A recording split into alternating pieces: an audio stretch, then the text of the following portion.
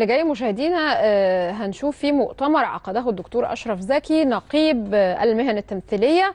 آه، ده كان مؤتمر صحفي الاعلان عن آليات احترافية جديدة بيتم العمل بها لأول مرة لتنظم العمل في مجال المهن التمثيلية وتقنن أوضاعه. حضر هذا اللقاء أعضاء مجلس إدارة النقابة. نشاهد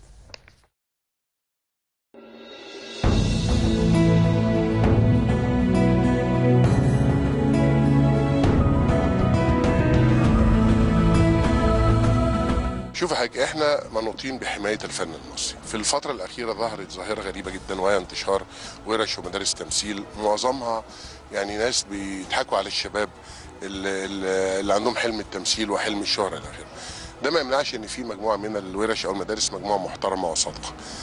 آه، إحنا مش هنقف نتفرج والفن مهنة من لا مهنة له النهارده اللي حاصل في السوق إن أي حد بيجيب أي حد يشتغل وأي حد يمثل لا شايفين نقابة ولا معترفين بالنقابة ولا تصريح النقابة إلى آخره.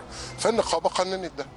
اللي شايف إنه عايز يقدم وجه جديد أو عايز يمثل يتفضل يخش يروح النقابة بيسحب استمارة بيخضع لميتنج في الأول بنشوف آه، آه، إن هو هل لديه موهبة أو لأ.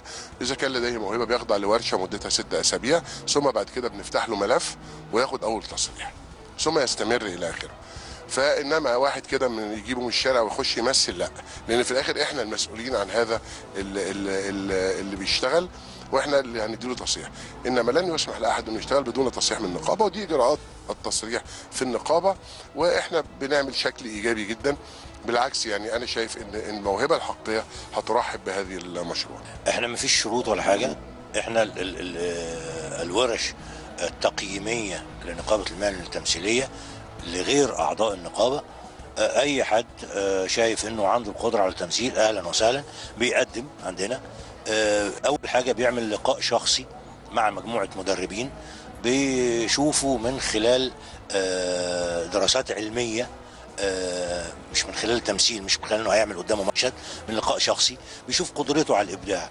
من خلال مجموعة آه، آه، اختبارات كده بتبقى موجودة في علم النفس زي هتشوف الصورة دي. رد فعلك على الصورة شكله إيه؟ الصورة دي بتشكل عندك إيه؟ ال ال بتفضل أنهي أشكال؟ كل دي ليها دلالات نفسية. هذه الدلالات النفسية بتحدد هذا الإنسان هل عنده القدرة على الإبداع؟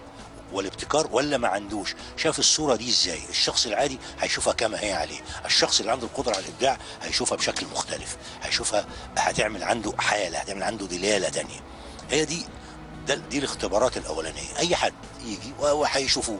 والله ينفع هيكمل ويقولوا له تعالى اتفضل حضرتك خش الورشة نقنن بقى مسألة التمثيل بتاعتك. إحنا كان فكرتنا بمنتهى البساطة يعني عشان مش عايز أطول ولا أستطرد في كلام كتير جدا إحنا مش هنسيب حد يشتغل من غير تصريح بعد الآن.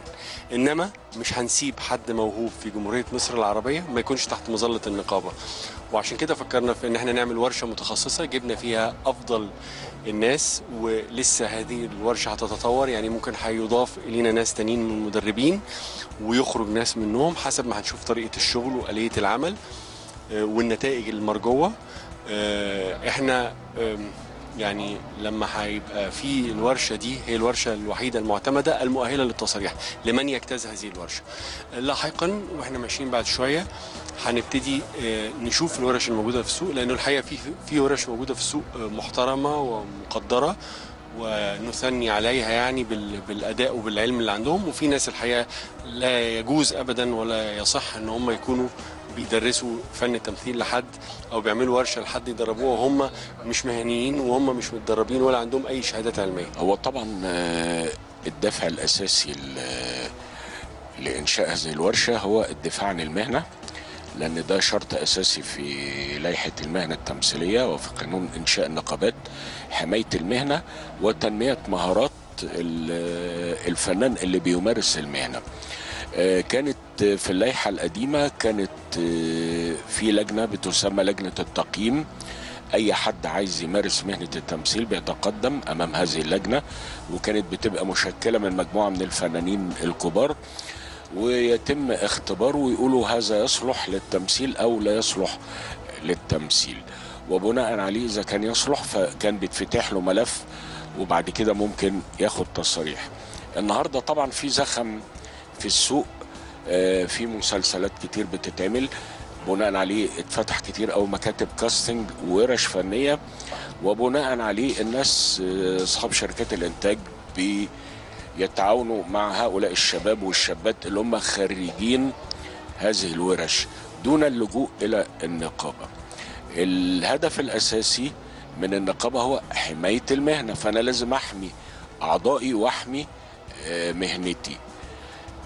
أحمي أعضائي إنه هو لازم يشتغل وأحمي مهنتي إن أنا أبعد الدخلاء اللي هم غير قادرين على آه، التقدم للجمهور المصري أو الجمهور العربي ب- ب- بمواهب حقيقية.